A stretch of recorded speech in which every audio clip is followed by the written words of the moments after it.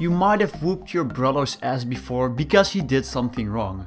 You might have taken revenge on your cheating ex. Or you might have kept an entire religion accountable for your country losing World War I. But why did taking revenge feel so good? Or didn't it? So today on your favorite YouTube channel, why is revenge so sweet? Welcome to Brains Applied. Let's start with some brain scan research. In two separate investigations, researchers used PET scans and MRI scans to check for people's brain activity. If you don't know, PET stands for positron emission tomography and MRI stands for magnetic resonance imaging. Both techniques measure your brain activity. For PET scans, radiative drugs are injected into your bloodstream and a scanner can then follow the blood flow to the active parts of your brain. Don't worry, this is perfectly safe, more or less, and doctors are supposedly smart enough not to make you radioactive. An MRI scanner on the other hand measures the magnetic waves that are caused by active neurons in your brain. The MRI scans show that when taking revenge, the part of the brain that is mostly related to anger and aggression is very active. This is one of the reasons why taking revenge might not make you feel better. People who take revenge spend more time thinking about what happened and about the people who did something bad to them, and they keep going over it again and again. Yet, the PET scan showed that also the striatum, the reward center of the brain, is active when taking revenge. So is revenge really so sweet? And what does it depend on?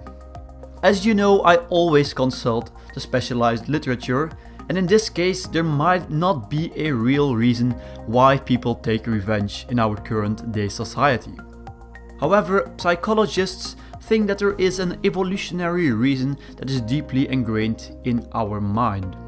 Back in the good old times, rules were simpler. An eye for an eye, a tooth for a tooth. Revenge was a simple way to say that if someone showed a certain naughty behavior, there would be retaliation. This made groups much more productive as everyone had to cooperate and this results in the reward rush in your brain. A similar behavior is still in our brain. However, we are smart enough to realize that killers will end up in jail and if we kill someone out of revenge, we will also end up in jail. But let's say you take the law in your own hands. When will the good feeling overcome the bad, angry feeling? According to Mario Gollwitzer, revenge will only feel really good when it's clear that the person who was punished understands why you took revenge.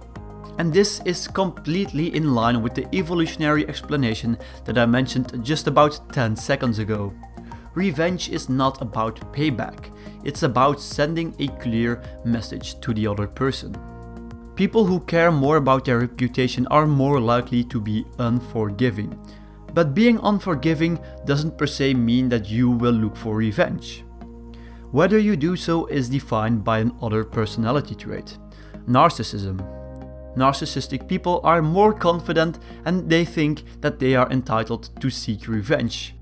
Research has also shown that neurotic people are more likely to take revenge.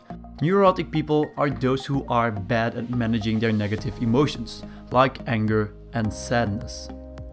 But the most important factor is probably whether you believe that revenge will make things right. And that is all I wanted to tell you today. Don't forget to hit the subscribe button and the like button. And just to get the message clear, if something happens to you tomorrow, for example, someone accidentally pushes you off the stairs or someone accidentally hits you with a truck, I just want you to know that it might have happened because you did not press the subscribe button and the like button. So I highly recommend you to do so. And I will see you guys later.